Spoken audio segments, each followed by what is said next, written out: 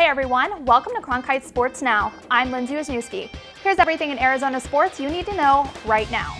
The Cardinals defeated the Jets 28-3 on Monday night in pretty convincing fashion. At a press conference today, head coach Bruce Arians said he was pretty happy with his team's balanced running and passing attack. The Cardinals next play the Seahawks on Sunday night, and Arians noted if they want to win the division, they'll have to go through Seattle to do it. Just two weeks after Dave Stewart was relieved of his duties, the Arizona Diamondbacks hired Mike Hazen as the new GM of the team. Hazen was most recently the senior vice president and general manager of the Boston Red Sox and was introduced in a press conference on Monday. ASU quarterback Manny Wilkins returned to action this Saturday as the team fell 40 16 to Colorado. The team is running out of options if Wilkins were to get hurt again, as backup Dillon Sterling-Cole has only taken two snaps at QB.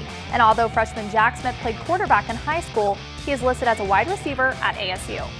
For more stories and coverage like this, follow us on Twitter and Facebook at Sports Cronkite. For all of us at the Sports Bureau, I'm Lindsay Wisniewski. Thanks for joining us.